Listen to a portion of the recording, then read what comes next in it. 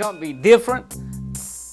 We're going to have a little bit of blues behind all that we're doing today, but we're going to be talking about classifying living organisms.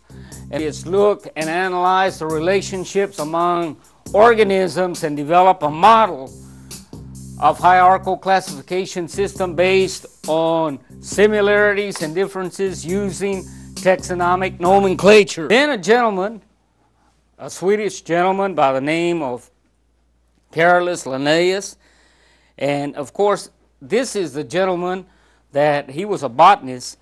This is more like what we're using today because he came up with a system of classification that's very systematic.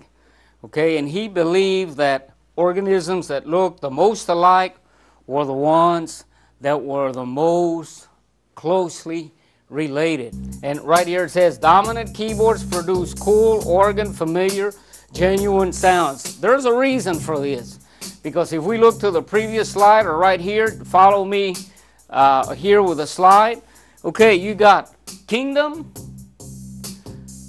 In other words, kingdom, keyboards, phylum, produce, class, cool, order, organ, family, familiar, genus, genuine, species, sound. Binomial nomenclature means that to every organism he assigned two names.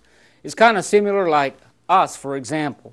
We have a first name and a last name that allows people to track where we come from and who we are. Well, it's the same way here, binomial nomenclature. And in the binomial nomenclature system, what he did, uh, he came up with a genus and a species name for each particular individual. And that's very critical for you to see that, okay?